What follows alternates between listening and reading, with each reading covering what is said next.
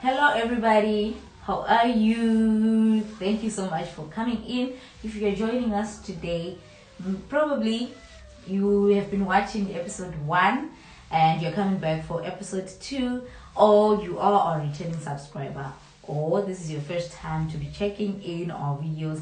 I welcome you, everybody. So, if you have um, not checked episode one, if you're just checking in for the first time, please go back and check for episode number one, where we are helping you with an easy method to be teaching reading to your four to eight years kids. So if you have been practicing episode number one, by uh, the end of six weeks or by end of the first group of letters, probably your kids will be able to be reading short phrases like pet snips, a pin, a tin, stand sits, peep sits, tip snaps, and spin, and spin in a pan or in a pot tin, and sits, and, and snap, tips, sits in a pit. So by end of the first group, there are some words that I showed you, that I shared with you, which your kids will be able to be reading, and some short phrases that I've just said um, just now. So we are in um, after six weeks, we are done with our words. The seventh week, we are doing our revision, and the eighth week now, we are coming back with the second group of the words. So we said we are going to be grouping our letters in smaller groups of seven then we'll be having that's why we are doing in series. So today i'm here to be sharing with you the second group of words that we are going to do. So it's a monday it's a new day and guess what? We start with the alphabet. So for the benefit of those that are joining us for the first time i'm going to be sharing with you how we sound the alphabet. Before i go in subscribe guys. Share to somebody that might be benefiting from this. Share to your friends share to some nannies out there, to some teachers out there, to school owners out there, and to parents out there that might benefit from this video. Subscribe, share, click the notification bell so that the moment that I, that I upload a video, you'll be the first one to know, you'll be notified. Okay, so I'm going to be showing you how we sound the alphabet first. So, E, B, K, D, E, F, G, H, I, J, K, E, M, N, O, P, Q, R, S, T, A, V, X, E, Z. Good job. So now we are going into the first card of the week or of the day if you're doing this one per day. So the first sound that you're going to be doing, we are going to start with the story first. So you go in and say, "Hi guys, how are you? How was your weekend? How what were you doing? How did you spend your weekend?" And you say, "Okay, let me tell you a story. Once upon a time, there was mommy, and mommy was busy preparing for dinner in her kitchen. So the little girl Maria came into the kitchen and said, "Mommy, can I help you?" Mommy said, No, you are too young. You cannot help me with anything. But she insisted.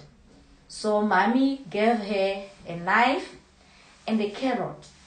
And she asked her to, be, to cut the carrots. So as she was cutting the carrots, Mommy heard a funny sound like k, k, k. She wondered where the sound was coming from. She listened again and she heard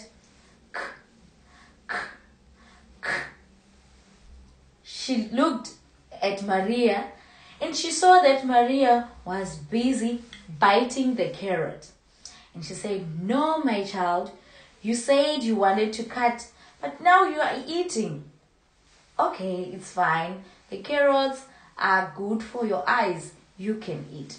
So he, she went on and cut the carrots, and mommy prepared a delicious meal for the family. Everyone was happy with the meal. That's the end of the story. So now you come back, you start asking questions who was cutting the carrots, what was mommy doing, and any other questions that you might be thinking of. That's it for that day. You come in with some work cards now, and after telling them the story, this is the k that we are talking about. We call this one Kelly. So, you give them some worksheets that has something to do with this Kelly K. The action for this Kelly K will be K, K, K, as if you are clipping something, as if you are biting. K, K. So that's our action for Kelly. K. You will see why we call this one Kelly. K. Fine. So now you're giving them joining the doors, you're giving them any uh, exercises that you might give them basing on the Kelly. K. And that's it for the whole week. Next week, we are going in, we are going to be telling them another story of the next letter that we are going to do. So the next letter that we are going to do is kicking k.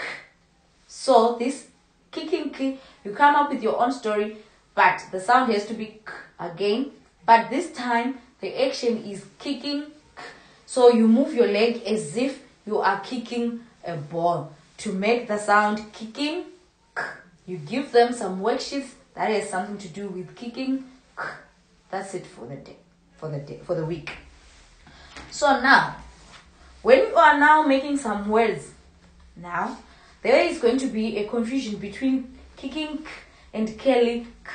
So this is a tip that you can use for your, for your kids.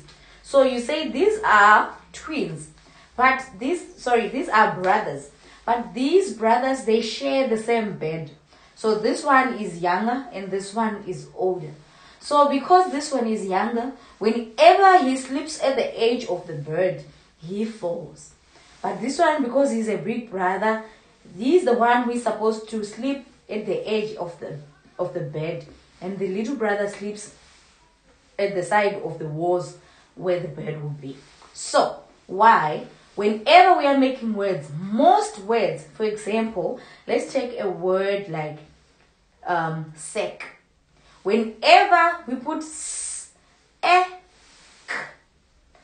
the little brother always calls the, the the older brother to come and sleep next to him because he doesn't want to go at the end of the bed. So that's what you explain to them so that they are not going to be confused on which k is supposed to be used. We are in our third week. We come in and we are on sound e, e, e. Be careful. E and e for an apple, the first sound that we did, and this e, they must be different. So for this e, the action, you come up with the story, and the action is as if you are breaking an egg. E, e, e, e. So you come up with your own story, you show them the sound e, you give them the worksheets for a sound e and the action e. Next, we go to the next sound, which is don't say he because already you have put something here. So it's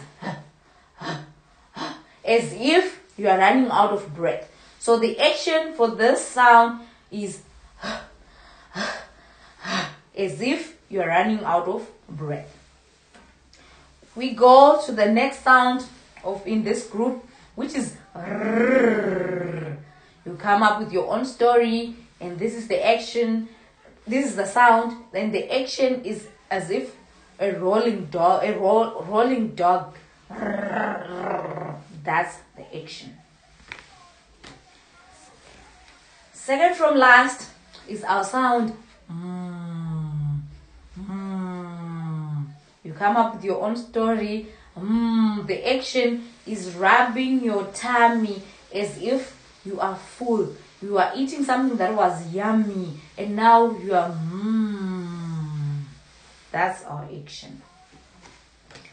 And the last one is d. D. D. You tell them a story, and the action is d, d, d, d, d for hitting the drum. That's the action d, d, d. I'm going to come when we are going to be teaching. I'm going to come back and tell you how you can differentiate b and d when you are writing because most kids they normally confuse those actions. So that's it for group two. That's it for episode two, the second group of our sounds. And after this, after these words, there are quite a lot of words that you can now make from this um from this group. So this is it for this um group of words, the second episode. These are the sounds that you're going to be doing. And in our next episode, episode three, don't forget to check episode three as soon as it's on. Turn on the notification bell so that you see it. On episode three, I'm going to come and share with you the word, the group of sounds that we'll be doing in episode three. And I'm going to share with you the words that your learners will be able to be re- reading from the episode two. So thank you so much, guys, for checking in. I hope um, I'm making sense, and I hope you are going to find this quite useful. Thank you so much. Until the next video. Bye.